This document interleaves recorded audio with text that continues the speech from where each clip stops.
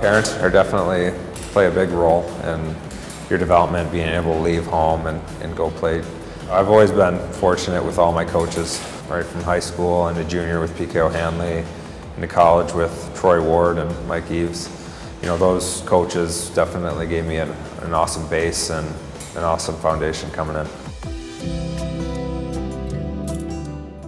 You just got to put the work in every day. The players are good. The kids that are coming up right now have all kinds of skill, and you can tell they've they've played. But enjoy it. Uh, add a little bit to your game each day, and, and hopefully it'll it'll be enough at the end.